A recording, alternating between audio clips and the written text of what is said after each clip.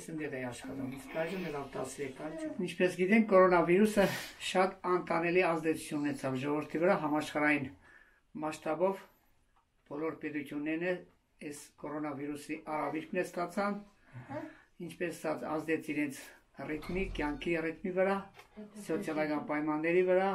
ընթացքի վրա, ամեն ինչի վրա։ Թանկացավ ամեն ինչ, ապրանքը, ապրանքը թանկանալով ազդեց բոլոր ժողովուրդների իրենց կեցության վրա։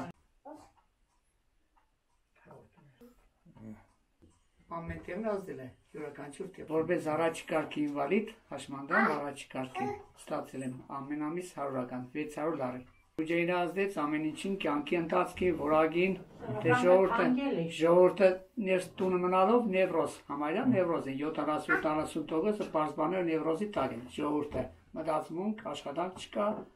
կանգու ժողովրդի վրա, կանգու մարդկանց վրա, այնպես ազդում է աշխատա մարդկանց, իհարկե, եթե աշխատանք չկա, մենակ թոշակով շատ քիչ է։ Ազդել է, բայց չի ազդել։ Գործերները այլ աշխատել լավ չէ։